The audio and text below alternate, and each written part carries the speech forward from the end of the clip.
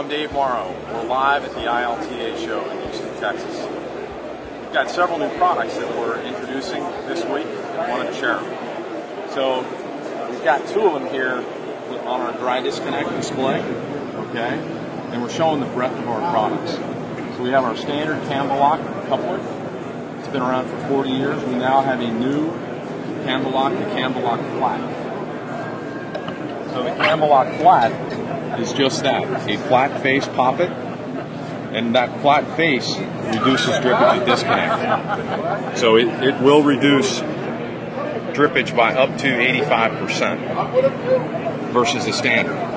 So you can see here the flat face on the coupler, the flat face on the adapter. And if you compare that to to our standard Kamvalok, you can see the difference in the the poppets. So the standard versus the flat. And these crevices that you see in the standard Kamvalok are places where product collects, so you will get more drippage. So the Kamvalok flat's going to give you less drippage at disconnect. So then we have our, our Drylok, and we step up to the Epsilon, which gives you the best in terms of drippage at disconnect and, uh, and no pressure drop.